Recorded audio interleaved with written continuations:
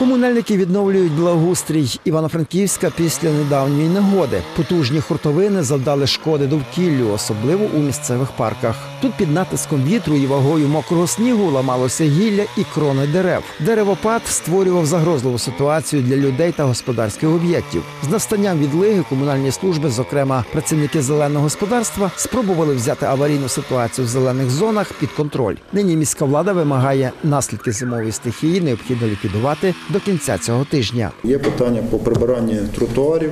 Так, і тому є причина перша недостатня кількість двірників, все таки як показало.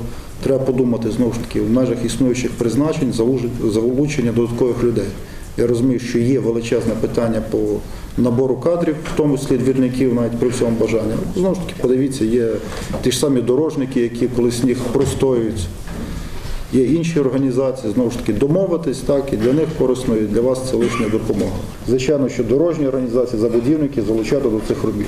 Підписувати, знову ж таки, є у випадку надзвичайних ситуацій правові можливості додаткового залучення.